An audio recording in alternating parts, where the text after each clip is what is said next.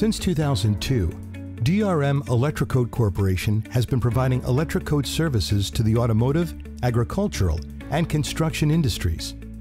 Electrocoating is an electrodeposition process where paint is applied to a metal surface using DC voltage from a rectifier, providing an appealing coverage with corrosion-resistant protection. The process starts as raw parts enter the machine carousel on designated racking.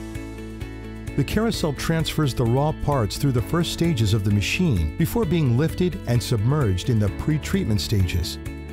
The nine pre-treatment stages clean the surface of the parts and apply a zinc phosphate coating for corrosion resistance.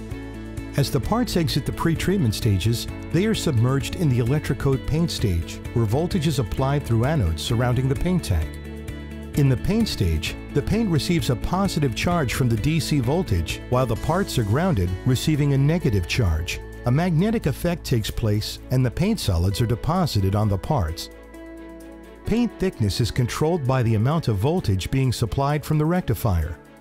Three post-rinse stages complete the painting process before the parts make their way through the dehydration stage and into the cure oven. The oven cures the paint at a maximum of 425 degrees for a period of 45 minutes.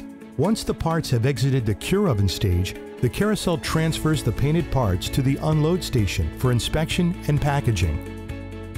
The DRM electrocoat process is capable of processing 40,000 pounds of parts per hour. DRM ships painted product to some of the most well-known names in the industry, including Toyota, Honda, General Motors, Ford, Chrysler, and Caterpillar.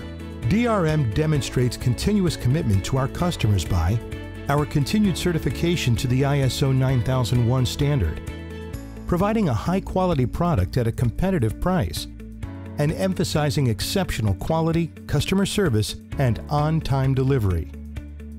Here at DRM Electrocoat, we keep our customers happy because we do what we say we will do.